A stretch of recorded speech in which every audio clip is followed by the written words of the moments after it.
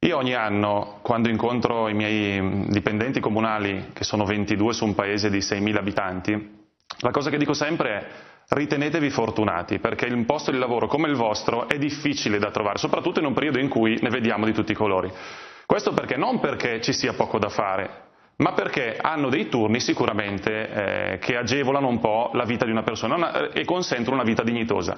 Quando si parla di assenteismo, per ritornare al discorso di prima, si verifica soprattutto, e questo è quello che ho notato correggetemi se sbaglio, nei paesi dove c'è un esubero di questi numeri. Si capita soprattutto dove ci sono paesi che hanno ad esempio 6.000 abitanti come me ma si trovano con 200-300 dipendenti. È sono perfettamente d'accordo con lei. Perché Ricordo il caso trovassimo... Sanremo, no? Questi esatto. non andavano a lavorare da anni, vuol dire che non servivano a un piffero, perché non se ne accorgi che non vanno a lavorare. Eh. L'assurdità però è un po' questa in Italia.